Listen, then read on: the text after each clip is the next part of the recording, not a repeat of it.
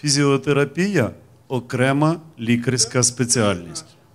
І коли ми думаємо, от ми вважаємо, от наша думка як лікаря лікуючого, що цьому пацієнту потрібна якась фізіотерапія, ми з вами не повинні призначати ні УВЧ, ні електрофорез. Для нас є консультація фізіотерапевта.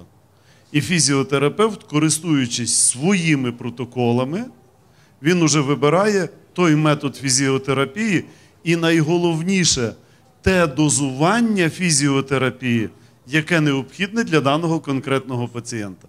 Скажіть, будь ласка, хто із тут присутніх, крім мене, має сертифікат фізіотерапевта? Я маю. Ну, правда, він уже давно закінчився, але я його маю.